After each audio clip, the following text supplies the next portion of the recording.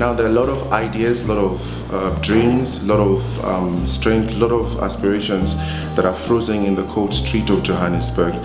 Uh, as a resident of Central Jozi, yeah, I've seen uh, homeless people getting cold every winter.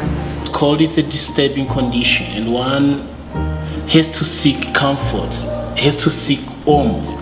You know, it's just the symbolism of the blanket is something very significant and special because people not only get warm with a blanket but they feel comfort as well.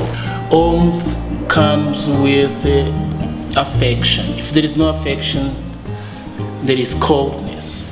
It's not only uh, to to raise awareness, uh, but to really contribute to those who are less fortunate than us.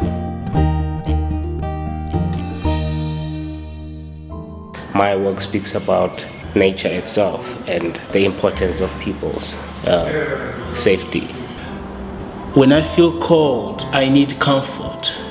So in my work, there is a space where one can find comfort.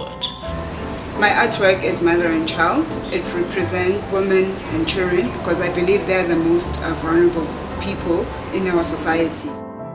Really, really try to show the brushworks or even the back of the brush you know, just on the painting so people can see, you know, how I try to convey what is within me on the canvas. The work I made there was uh, two guys standing on the fire because it's winter time and now they are making themselves warm in the fire and they're wearing the blankets.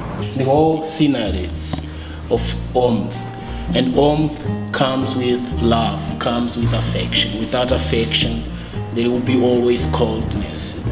And I just believe that the campaign mustn't only states the winter, because the whole life we need affection, not only in the winter.